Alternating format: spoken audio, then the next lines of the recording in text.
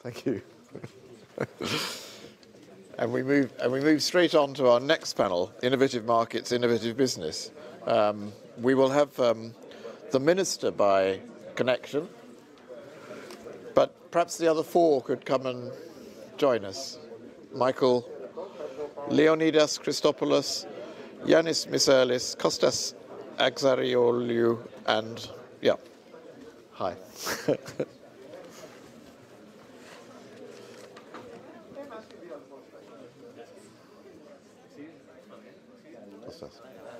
Hi, Michael. How are you? How are you? Good to see you. And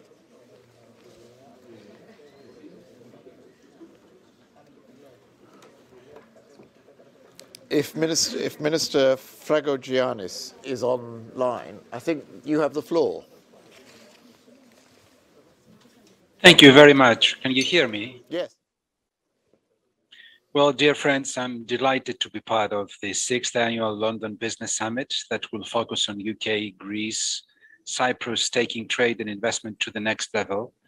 Even though my recent uh, positive COVID uh, kept me at home, uh, what I'm standing off at the moment and did not permit my coming to London, which I initially intended to do.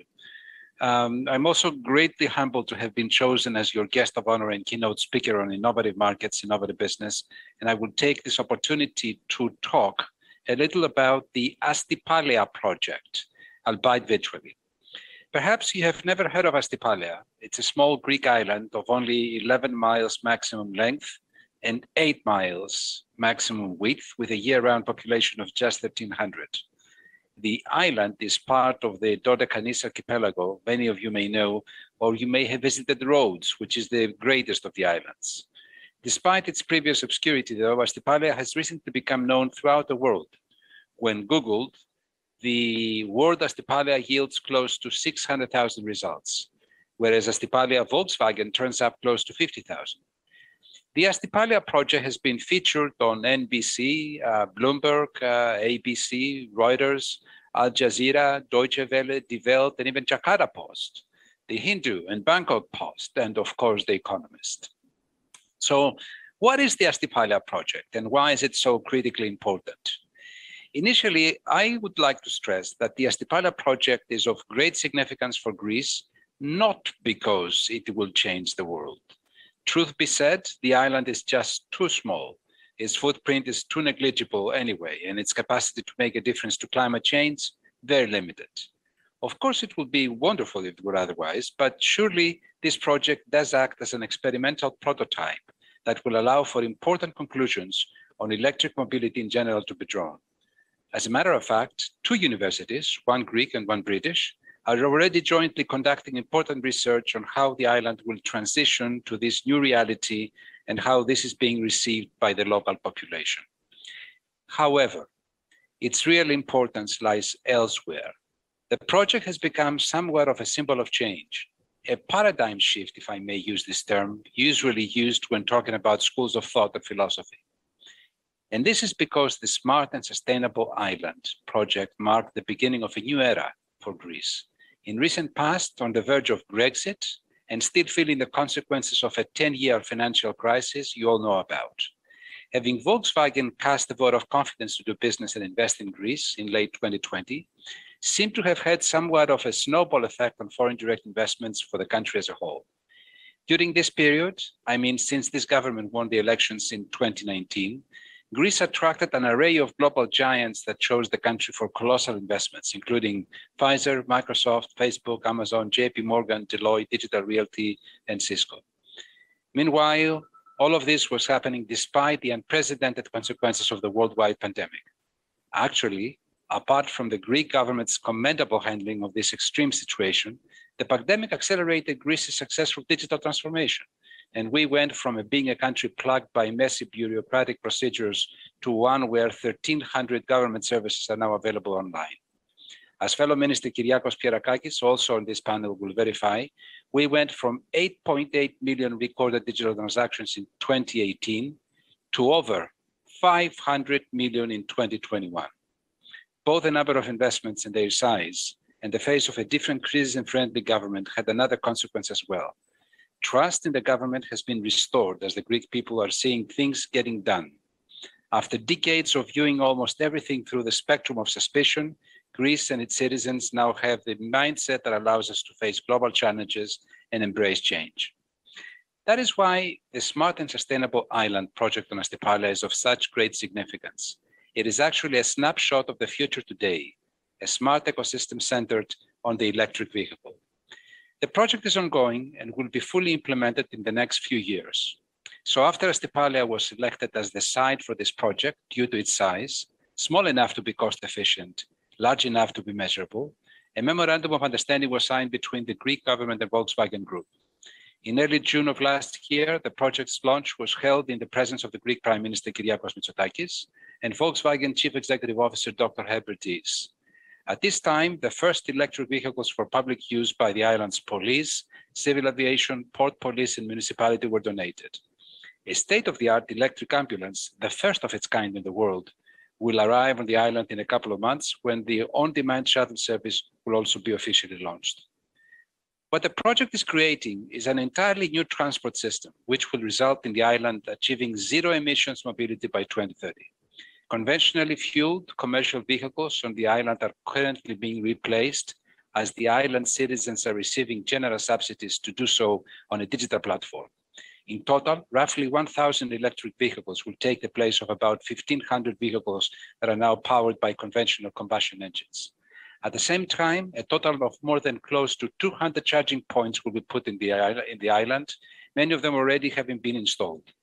The first participants are already driving their electric cars on Astypalea. In addition, an all-electric year-round ride-sharing service will be offered by completely revamping their current limited local bus service. The traditional vehicle rental business will also be transformed into a vehicle sharing service offering e-scooters, e-bikes, and electric cars.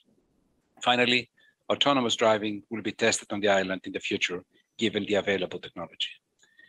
In parallel, the Greek government is helping the island transition to complete energy autonomy through the use of renewable energy technologies, such as wind and solar power, since Astypalea possesses a significant untapped green energy potential. Renewable energy sources alone will cover the additional electricity demand arising from the introduction of e-mobility, now powered by diesel generators. By 2023, a new solar park will provide about 3 megawatts of green energy, and by 2026, the new energy system will be further expanded to more than 80% of the total energy demand of the island. In addition, a battery storage system will help to balance the grid and make full use of the solar park. As a result, CO2 emissions of Astypalea's energy system will be minimized, while energy costs are to be falling down by 25% at least. The commitment of the local community to achieving the sustainable development goals of the project is of equal importance and further evidence of the new Greek mindset that I mentioned earlier. In a nutshell, as transport-related greenhouse gas emissions are one of the key drivers of climate change, sustainable initiatives such as this one I briefly described are very welcome that are surely concrete evidence of our commitment to the Paris Accord. Greece has decidedly moved towards an era of economic transformation innovation, and sustainable development. The Astypalea project is just one of many examples of the new Greece. Thank you so much. Uh, thank you very much, Minister. And now, um, Leonidas Christopoulos.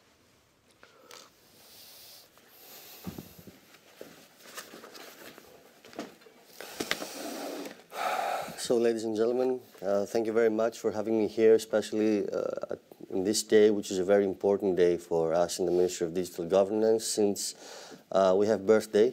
It's our birthday. Uh, GovGR, the Single Digital Gateway, uh, today is two years old, uh, together with its 1,300, uh, more than 1,300 services that we have digitalized uh, throughout the past two years in the ministry, and we hope that we've, we've done your lives easier. so today it's our birthday. Um, and uh, of course, I'm honored to be uh, part of this summit and of this panel, particularly since um, I, I, I, deeply, I profound, it's my profound belief that innovation, and especially digital innovation uh, based on digital technologies, uh, is the solid foundation of economic development, especially in developed countries. And uh, as I suppose we all know that uh, innovation is vital to economic development since it has this ability to have spillover effects throughout the economy, throughout uh, all areas uh, of the economy, and that sustain long-term productivity growth. In that respect, innovation and innovation based on digital technologies does not only push scientific knowledge towards one area, but it also transforms the everyday uh, business environment in which we operate, in which profits are made, and of course it creates new opportunities and market ideas. Just imagine that in recent, in recent years we have witnessed a rapid increase in technological innovation, uh, both in markets and the government. We have trends like the crypto assets, the fintech, the insurtech, micro-lending, regtech, govtech, and they all have integrated new technologies in financial and regulatory services and products and have undoubtedly been boosted by the pandemic. So it is as very vital for, for governments and policymakers to respond to these trends by improving traditional tools, tools that we already had in our disposal, and by creating new innovative ones for supporting and facilitating the process of innovation and digital transformation and protecting citizens at the same time. Um, so uh, let me briefly say what I believe governments should be focusing on regarding their governance methods, and then I'll turn to Greece uh, to describe what we've done on that respect. Uh, first and foremost, governments must be able to quickly assess the environment and the trends and identify uh, risks and opportunities in the changing landscape. Uh, you know the technology moves rapidly. Uh, we already have in Greece uh, a foresight exercise, a special structure that does foresight exercises to see where we're going to be uh, in, in the decades to come. But apart from that, we need to also assess the environment for the new technologies. Secondly, and perhaps, perhaps more importantly uh, on our side, governments should use all available regulatory tools uh, in order to reduce barriers to innovation, especially in emerging technologies like, like AI and blockchain, uh, protecting again uh, public interest. And in my opinion, a good regulatory environment uh, is an environment that has a little regulation and regulation that can quickly adapt to the changing uh, environments. Um, a regulation that can ensure that governance structures and core services of the state, regulations, enforcement mechanisms are capable to adapt quickly in order to be fit for the moment and the future and to be able to follow this new normality that we're all facing. Uh, and thirdly, governments should reevaluate the innovation initiative portfolio and ensure resources that are allocated, are allocated appropriately via mechanisms that are fit for the ecosystem that is being generated in the sphere of digital innovation. Now, taking these three pillars into account, the Greek government since 2019 ha had uh, already had a plan to move forward with those above mentioned issues, and it has done so in a, in a very rigorous way. Even though Greece has a limited market size, which means it is hard for small or medium innovative businesses to find the necessary critical mass in their home country alone, there seems to be a favorable, uh, favorable environment in the sense that innovative companies tend to think internationally in Greece nowadays. Uh, there are a lot of resources coming from the European Union as funds for digital innovation and digital transformation. And as the minister said earlier, the Minister of Finance, there is a rather stable financial environment and a more attractive uh, track, uh, uh, tax environment. So what we're doing is the following. Uh, we're trying to become a data-driven economy. We're trying to, to um, regulate and to create the environment uh, and the mechanisms to facilitate the reuse of certain public sector data that cannot be made available as open data, and measures to ensure that data intermediaries will function as trustworthy organizers of data sharing or pooling within the common European data spaces. Where we were one of the first countries to adopt the European Directive on uh, Open Data, and we'll do the same on the Data Governance Act that is currently being in the European Parliament. Secondly, become a skillful economy by supporting the upskilling of everybody and especially the SMEs. And uh, the third one is to create a network of hubs uh, that can become uh, a one-stop shop for all companies and entrepreneurs, providing them an end-to-end -end experience in their digitalization journey. Regarding the area of regulations, since the new government took office in summer 2019, it has tried to improve the regulatory framework and the way we do regulations in general. We have tried to inject a bit more Anglo-Saxonic uh, parameters in our system, uh, if you like, in order to make it more flexible.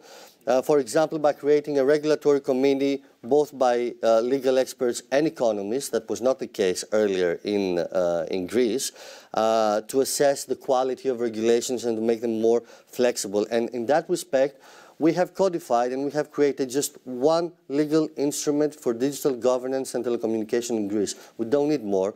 We'll have one more for the new technologies, for blockchain and AI in the future, but we just want, we just have one law that gathers everything, that, ga that gathers our cloud-first policy, that gathers our telecommunications policy, that gathers the new coordinative mechanisms and the governance policy, that sets up institutions to support innovation.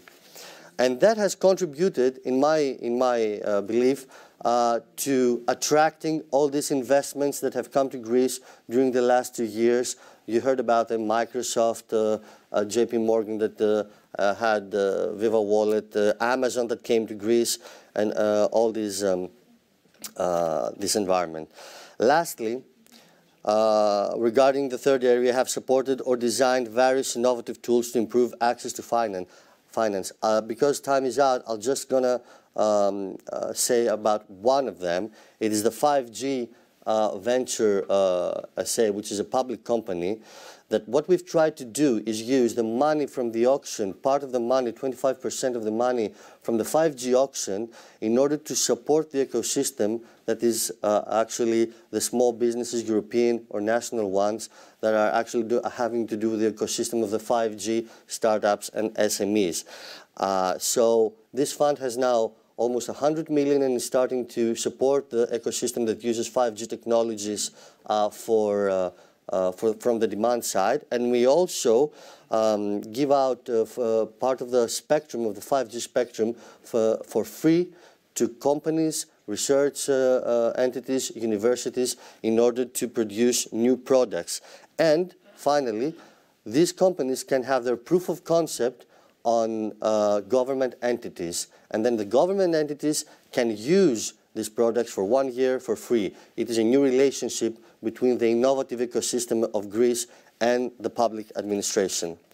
My final message, and to, to close my intervention, is that Greece has come a long way since 2019 when we came into government, when the government of Kyriakos Mitsotakis uh, took office. And we have managed to fix a lot of broken things in our society and our economy uh, that were actually, as the minister said earlier, deteriorated the trust both of markets and citizens. Uh, we're now moving forward with something that Greece, at least at the governmental side, never really had in the past. And that is that we're trying to think out of the box in the government in order to support ideas, to support innovation, and I think that that is the main message that I can convey to you today. Thank you very much. Thank you. Michael. I think you're next. Oh, good. Ecom. Yeah. ECOMMBX. Oh, um, what about sponsors? Yes, uh, I'm a sponsor, so I'm sitting on the chair here. so, um, basically, I wish I could um, I could be the bearer of good news. That I always like to have a bit of a conversation with uh, the panel and the people regarding progress is happening in, in the global sphere, in the economic sphere, in the banking industry where we come from, in the fintech or regtech technological uh, infrastructure that's happening on overall. Unfortunately, with the things which are happening currently around us, as we all know, nothing is working according to a nice, polished system that is meant to be doing a tick and a talk that is actually predicted, and you can have long-term planning or even long-term strategy. Having said that, um, we have, uh, we have seen small projects that are being run across different countries, um, including Cyprus, which I think we're here today to represent uh, an eastern, the eastern front of the European Union, as we always do every year, with Cyprus and Greece and, uh, and uh, reaching out of the UK. But the problem is that we talk about small projects, like we just spoke by all means about Astypalea, which is a really nice project. I've, I've actually been to Astypalea. I don't know if any of you have been there. The, the road network here still needs a lot of work, though. So we're talking about electric cars going on a road network that still needs a lot of work. But that is not what I'm trying to judge here. What I'm trying to say is that we have a small project running on a very minute and a very small destination in Greece, while the overall infrastructure is still um, let's say it's rusted paint. And I'm not talking about Greece, I'm talking about Europe overall, I'm talking about Cyprus. We're talking about a country uh, or a region uh, that is actually on the outskirts of the European Union, that is just being demonized about whatever happens, just whiplash after whiplash. Today in Cyprus, things are happening which are still detrimental to the economic system of the island and have been predicted and actually been called for a while now. And you know, we were actually saying, oh, this is not going to happen. Uh, the, the, the, the, shrinking of the Cyprus banking industry. Well, I think today we're witnessing even a, a bigger danger to that. You're talking about an island which is uh, on the eastern front of Europe. We have very little infrastructure. We have very little support. We have um, half of our island gone. And uh, I mean, I don't want to be a bit graphical here, but the question is, a country that is trying to generate revenue with an inflated currency being going around is trying to invest in tourism. Well, where did the money come from? Let's demonize that.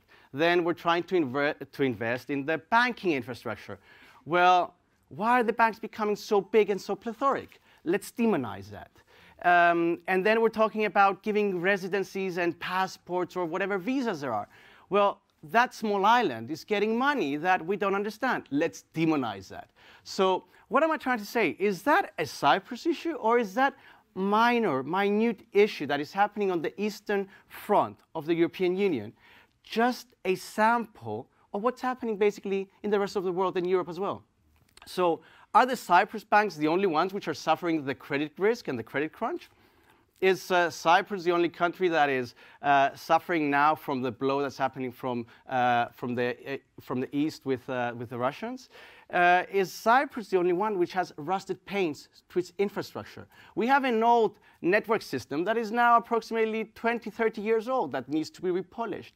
We have old hotels which are just rusted paint and they're repaying their loans and they're prolonging the loans to the banks just to freshen them up, and nothing new is being built. I mean, I'm staying in the top hotels where I go in Europe, which they're five-star hotels, and you know what? It's rusted paint. So, sorry, I speak too fast, so I need to top up on the fuel. So the question is, are we actually doing something that has to do with long-term planning or long-term strategy, and we're uh, anticipating and tackling issues that have to do with inflation, that have to do with two-speed Europe, that have to do with the infrastructure of globalization, or are we just hiding behind our fingers and waiting for something to explode? And then I come to my industry. Have a look at our website. If you need anything that has to do with fintech and bank accounts, please come to us. Jokes aside, then we come to our industry. We're a company that's trying to do innovation in Cyprus in terms of fintech. And as soon as we start going and reaching out to the rest of the world, the first thing we have to prove is that we're not elephants. I mean, that we're not the odd ones out. The first thing we have to prove is that we're innocent because we're from Cyprus. So, how do you feed European Union countries to feed innovation and to feed new industries and new branching out, whether that's to the banking, to the tourism, or whatever else it is, when it comes from the suburbs of the centralized governance and they're just being demonized that they're either doing something dodgy, it's Russian money, it's American money, it's Miami, or whatever else there is. I mean, what was my, Miami built on the other day? I'm, I'm wondering, where did they get that money to build Miami? Um, and, and, I'm, and I'm saying again, what's happening with the Scandinavian countries? What's happening with their tax system? Why are we not learning anything out of that? Why are we not learning that happy people are productive people? Why don't we understand that maybe we should revisit how we assess um, uh, the, the, the GDP of a country and all the indices that have to do with performance and output. I see these things which are actually, it's too many things that I've touched here, but there's too many things going on in my skull, in my head, that it's going to crack open at some point, trying to understand how this world works. And I don't know, being the generation that's now getting on the steering wheel of different companies, it really doesn't make sense of how things are still being measured and being operated on a global scale. So are we looking at globalization? And I'll end with this. Or are we looking at creating specialization and creating variation, creating variety, encouraging variety, encouraging the European or the Mediterranean hospitality, encouraging Greece to be what it used to be, and to have those people which are uh, hospitable and to have those traditional restaurants and taverns and things that people want to see, and the tourist product as well.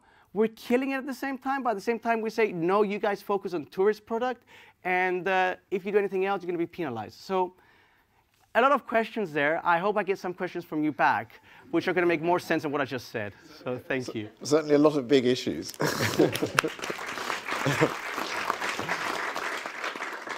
Yiannis Misirlis from Imperio. Yes, thank you. Good afternoon. Well, it's difficult to follow Michael's uh, remarks, which were full of innovation, and this panel is about innovative business, but real estate is one of the least innovative businesses out there, one of the least innovative industries. Um, the way we build and sell real estate has changed very little since the 80s. Um, having said that, the pandemic did act as a disruptor to the industry and helped accelerate some trends that would otherwise take many years. For example, the office market. It is now generally acceptable that work from home is part of uh, normal operations of any company. Globally, this trend tends to shrink the office. In places like Cyprus, however, where the weather is nice and the cities tend to be no so, not so densely populated, the office sector is seeing increased demand from companies who wish to relocate or open regional offices. So there is an opportunity in the office market in Cyprus right now. The design and construction of sustainable buildings is another trend that has been accelerated in the past two years because of the pandemic. Climate change is now a key driver for real estate. Those investors and landlords who do not invest in sustainable buildings will find out soon that their properties with higher carbon footprint will be facing the risks to depreciate in value and become obsolete in the next two years. These buildings may also suffer from increased operational expenses, maintenance costs, high insurance costs, and lack of financing as more investors, tenants, and financial institutions move towards sustainable real estate. In the residential sector, we've seen organized communities with a number of amenities, communal facilities, and a lot of greenery to be crisis proof. Millennials and today's buyers are simply not happy with purchasing an apartment in the middle of the city which provides uh, with good accommod accommodation. They're asking for more.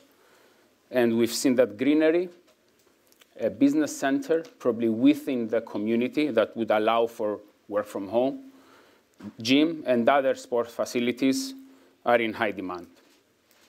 Student housing remains a big opportunity in Cyprus, and especially in places like Nicosia and Limassol, where most of the universities are located.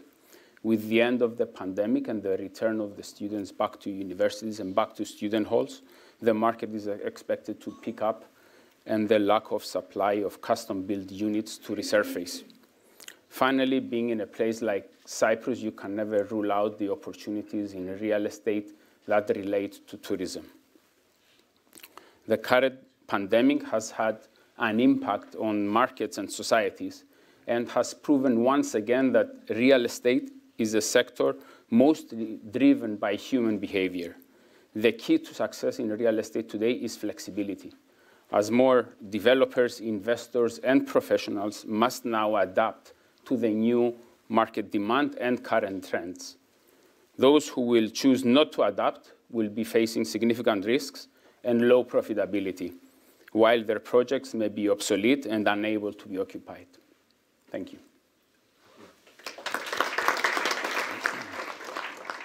Kostas um, uh, John, uh, in order to put a balance in the mode of uh, presentation, I'll use the podium so that I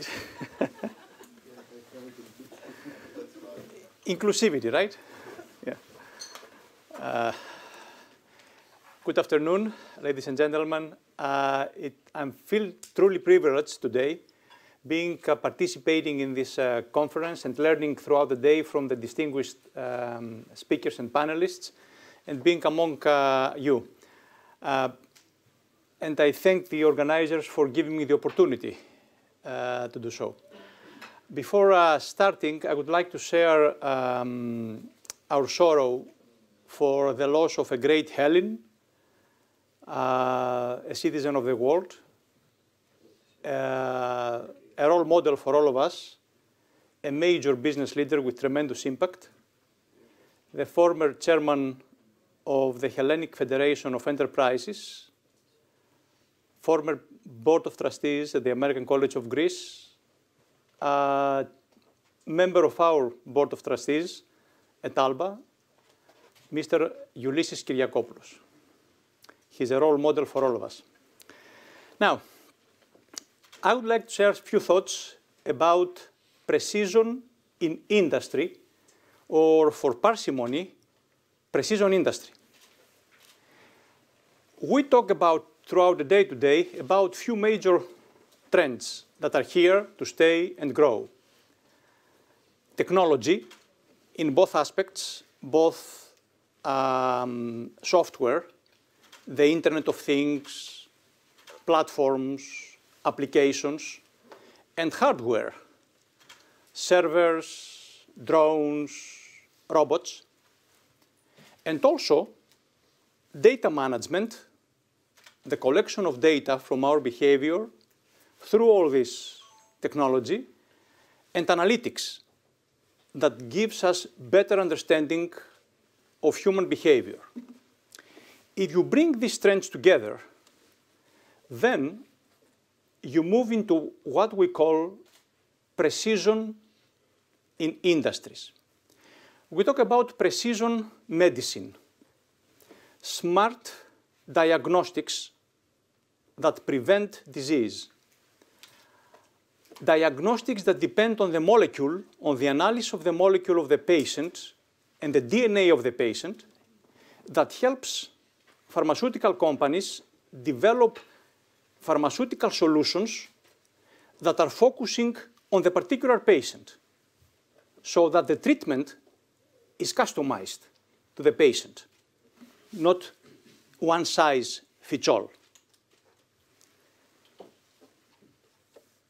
Precision farming, drones, and devices that really focus, get data on the humidity, on the climate of a particular field, and gives back data, information to the farmer when to water the, to water the field, how to use um, fertilizers, conserve energy and resources to improve the yield of the crop. Precision manufacturing, laser cutting and molding, just an example, on how to customize the production of products based on the need. You might say, well, exotic. Not exotic. A lot of farmers in Greece are using precision farming. Several hospitals in Greece are participating in consortia of research and development in developing new drugs using precision medicine. Several companies in Greece are using precision manufacturing. Why this is important? Why precision industry is very important? Because precision industry defies fundamental rules of economics. One of them, the trade-off between economies of scale, one size fits all, and customization. Precision industry helps companies to achieve economies of scale. At the same time, they customize the products and the services to the end user. Second trade-off. When we usually reduce costs, we lose some of the value we are offering to the end user. Precision industry helps companies to reduce cost, become more efficient. At the same time, they develop solutions that are customized to the end user. In other words, precision industry will help us, will force us to rewrite the books in economics. And I'm an economist, and I'm ha very happy about it. Now, this is a new trend. This, what we are talking about today, I really classify that as precision industry. It is growing. It's going to create tremendous value for the society because it reduces the usage of resources and increases the value to the end user, consumers, and so on, and requires a lot of investment. So investment to the next level. Precision industry. Thank you very much. So from, from, from Astypalea to precision industry, um, we've covered a lot of ground and infrastructure on the way, and indeed real estate and digital. Um, we, have, we have perhaps 10 minutes if anybody wants to raise any, any questions uh, or make any comments or solve Michael's problem on infrastructure. Yes, please. Um, a microphone will come to you.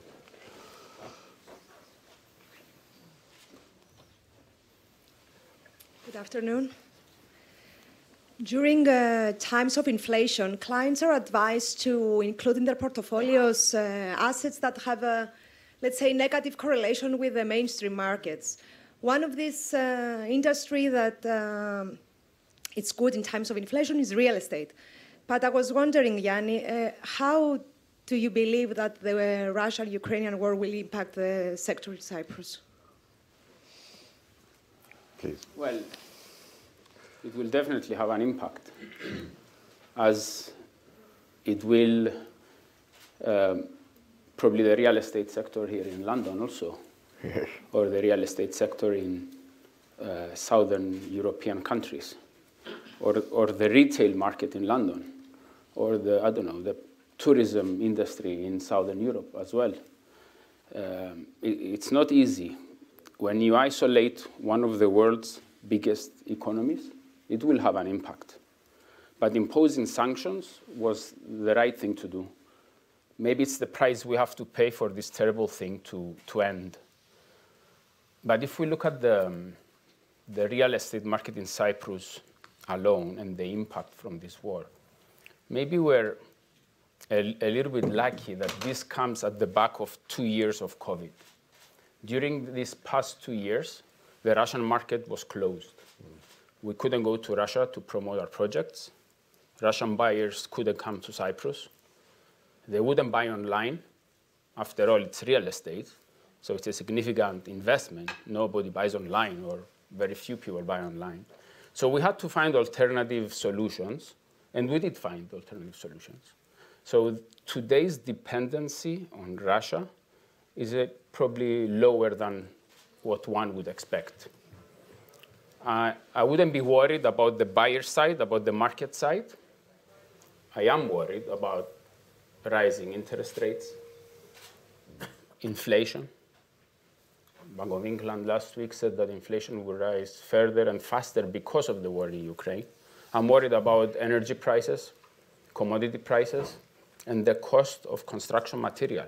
I think the real, the, the real challenge in real estate today is to keep construction costs under control and probably to navigate through supply chain issues. So you don't have to delay or even stall real estate projects. And this is a global challenge today. Minister, do you want, you, you, I think you've raised your hand. Do you want to comment? You're not. No, we can't, we can't hear you. Can you hear me? Yes. Okay. I said for a moment I was tempted to get back on the discussion over inflation and the war Ukraine Russia and how that affects uh, uh, imports and exports and real estate uh, market, but I suspect that you already talked about that throughout the day, and it's going to be in the news in the coming few days, weeks, uh, months, hopefully not years. Uh, so I, I, would like, with your permission, to go back to the innovative markets, innovative business uh, that we initially wanted to talk about. and, and take a moment to uh, assess what was said by Leonidas out of the box and by Michalis' concerns over infrastructure and where that leads us to and how decisions are being made in reference to the future of innovation in business and markets. Um, two, two very quick issues that I would like to address. The out of the box thinking of Leonidas is what I call leapfrog. And by leapfrogging, I mean that when you're in the place of a small country, Michalis, like Cyprus or Greece, uh, it's very similar to being in a competition with uh, multinational giants when you run a small business or a medium sized business. And what do you do? Do you compete on the same grounds of what they do? No. You try to find a niche market on which to prosper and, and, and show your own um, difference in, in what you do. So by leapfrogging and by thinking out of the box, which is the typical case of the Astypalea project, you deliver to your country, to your business, to yourself, the feedback and the positive impact of something small that at the same time has a big value, a big change. Volkswagen and Greece in Astypalea delivered a very unique place where we bring uh, green energy, at the same time autonomous driving, and at the same time uh, electrification, and at the same time mobility on demand. Things that have never happened before in one place. And that difference made uh, big news throughout the world. And the impact is seen even today, because as we say in Greek, one good thing often leads to another. Uh, just to give you a very, very small example of what we did uh, 15 days ago, is that we decided to come up with a new, small, little, tiny program in Astypalea, which is another example of leapfrogging and innovation, business and market, as we were in Astypalea, we realized that there is hundreds of abandoned old tractors and buses and uh, cars and vehicles and, and, and, bicycles and scooters. And we decided, with the support of the municipality and the people, to collect all of this, send it to a place where they can use it and actually sell it. And with the money that will be earned from cleaning up the island from all of this garbage, we will be delivering to the municipality a press for uh, for the garbage of the island. And so we do recycling on the spot by using the municipality, the people, the volunteers from all over the country uh, to do so. One good thing leads to another. Thinking out of the box, doing the leapfrogging is the exercise that brings innovation in your business through uh, a very particular way of thinking and making big news with little uh, means. That's that's pretty much what I wanted to share, and I thank you for your patience. Thank you. Do you want to comment? Are you ahead of Estonia? Not quite. No, uh, not quite, but uh, I think we're getting there very quickly. Uh, so yes, I would totally agree with the minister on that. Um, uh, you know, I've worked for, for the Greek civil service for more than 15 years. So I know how it works, I know how it thinks, I know how it operates internally. It, I think it's the first time that I can see that from a governmental point of view, uh, we try to innovate ourselves. We're trying to do administrative innovation in order to be able to support innovation in the market, in the economy, in businesses. And if you see what I described uh, with the Phaistos Fund, which is a brand new idea that even the, the commission said that it's very innovative and they will try to think about it. What the minister said about Astypalea, uh, what we've done um, during the pandemic, yeah. Some ideas that we implemented in order for uh, the pandemic to, uh, to become more um, uh, to, to, to face the difficulties of the pandemic and, uh, and, and, other things that we've done, for example, we've done a big registry of uh, administrative procedures in Greece in order to have a rolling, a continuous assessment of the bureaucracy that businesses are facing, and the OECD wants to use it as a best practice uh, for other countries.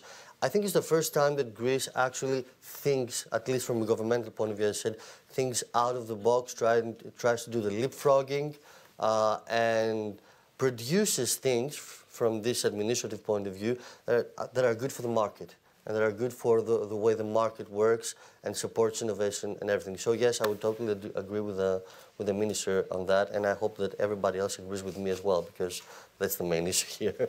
I'm, I'm not sure we solved the infrastructure problem. But, um, no, not really. And, I, and I'm not and I'm not sure actually um, if we are empowering the governments with a sustainable way to have a constant flow of uh, funds to be able to keep investing in their countries. So that's actually one of the questions that's out there on what I said before. Because if the, the governments are keeping uh, are keep working on, on, on credit lines and on lending or on limited um, tax inputs that actually come so they're able to spend, yes, it's going to be small projects trying to leapfrog out to be bigger. But what if we could empower that based on some uh, similarities of, let's say, I was actually having a discussion with some colleagues uh, a few hours ago about the Scandinavian model, which can actually create more sustainable and long-term welfare states that are able to have happy citizens and able to give a long-term uh, efficiency on how they output everything. So, uh, and then you're asking, what are we meant to do with this currency, which keeps, I mean, we touched the issue of inflation. So what are we doing with any currency globally? It's just being battered by inflation, and the governments are basically wor- working on a, on, on a credit line as well. So if you're not actually getting from the output of the productivity in a country in order, in order to recycle the money and refeed it in, it's always going to be a dead end game at some point. Mm. So I don't know, maybe the solution might be going back to technology innovation. That's why I'm just saying these things, thinking out of the box. Maybe it's the introduction of a new currency. Maybe it's something like the Central Bank of England is doing with stablecoin. Maybe it's a digital asset, or maybe it's something else. But definitely, we are not appreciating what we currently have going around. Fair enough. One, one rule of thumb at The Economist is the answer to almost every problem is either Denmark or Estonia. Do you want to add any last comment? Then we, because we need to move on. No, I think that uh, what, uh, what I'm thinking about is a, a, kind of framework where all these are included. And when I talk about precision uh, industry, that's what I'm talking about. All these initiatives, innovation, and so on, they are focusing on creating more value for the end user using fewer resources.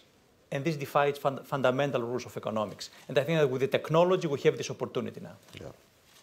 Great. Well, thank you very much to all our panel and to our minister from, from Greece. Um, thank you.